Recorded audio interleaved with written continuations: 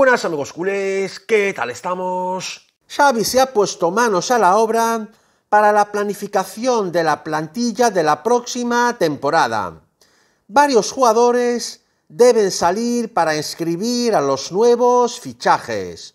Pues bien, una fuente deportiva cercana al club asegura que el entrenador del Barcelona tuvo una brutal discusión telefónica con un crack del Barcelona que no aceptaba salir en este mercado veraniego.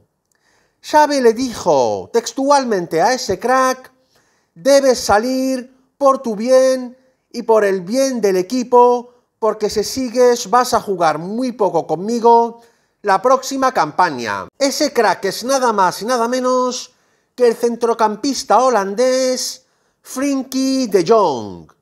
La misma fuente asegura que después de esa discusión, Frenkie llamó a Ten Hag para decirle que acepta la oferta del Manchester United. Y de esta manera, De Jong se convertirá en nuevo jugador de los Diablos Rojos la próxima semana, dejando en las arcas del Barcelona 60 millones más 20 invariables. Esto ha sido todo por hoy, amigos culés.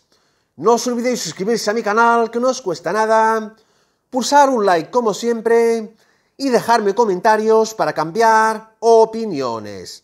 Muchas gracias, Forza Barça por siempre y nos vemos muy pronto en mi próximo vídeo.